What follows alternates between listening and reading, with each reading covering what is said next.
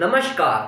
तो कंगना रनौत जब से पॉलिटिक्स के अंदर एंटर कर चुकी हैं, कंगना रनौत का बयान आपने कई बार सुना होगा कि मेरे पास पॉलिटिक्स के बहुत ऑफ़र आते हैं, बट मैं वहाँ नहीं जाना चाहती हूँ। ऐसे बयान कंगना रनौत ने काफ़ी बार दिए हैं और आज कंगना रनौत की तेजस फ़िल्म रिलीज़ हुई है। और फ़िल्म क्रिटिक के आर के ने, भाई, इसके लिए सबसे पहले ऐसा कहा है wow what a brilliant comedy film Tejas is Ram Mandir बन भी चुका, ओपन भी हो चुका और टेररिस्ट बॉम्ब ब्लास्ट करने के लिए आ भी गए.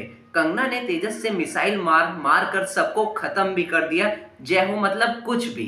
यानी कि कुल मिलाकर तेजस को फ़िल्म क्रिटिक के आर के ने इतना अच्छा नहीं बताया है। और अश्वनी कुमार, जो कि बहुत बड़े फ़िल्म क्रिटिक हैं, उन्होंने तो ऐसा लिखा, भाई तेजस नब्बे के दशक के वीडियो गेम की तुलना में एक खराब बजट खराब स्क्रिप्टेड निम्न मानक वीएफएक्स और कंगना रनौत के सबसे विचित्र अभिनय चित्रण में से एक, सबसे बड़ा झटका। यानी कि आपको पता होगा कंगना रनौत की फिल्म्स बेशक इतनी अच्छी नहीं जा पाती फ्लॉप जा रही हैं, पर लेकिन कंगना रनौत की एक्टिंग की तो सब तारीफ़ करते हैं। लेकिन जो ये फ़िल्म है तेजस, इसमें कंगना रनौत की एक्टिंग को भी अच्छा नहीं बताया गया है। इसी के साथ भाई, अश्वनी कुमार ने, आप देख सकते हैं मूवी को कुल एक स्टार दिया है। और आगे अश्वनी कुमार ऐसा लिखते हैं कॉस्ट्यूम और लुक डिज़ाइनर भी दोषपूर्ण है। फिनाले, आत्मघाती मिशन के लिए शुरुआती बचाव मिशन, सभी कार्यवाही के बजाय सिर्फ़ उबाऊ डायलॉग बाजी है।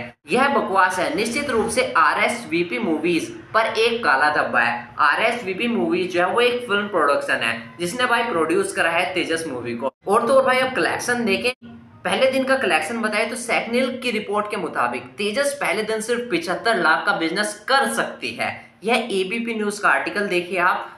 और कंगना की यह फ़िल्म इंडिया में करीब 1300 स्क्रीन पर रिलीज़ हुई है।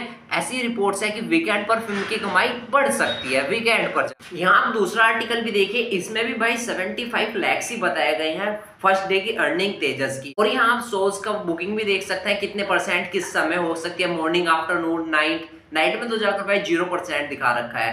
अब भाई इस मूवी के बारे में आपकी क्या राय है? क्या ये मूवी वीकेंड पर कुछ अर्न कर सकती है? क्योंकि जिस हिसाब से चल रही है, कुछ कह नहीं सकते।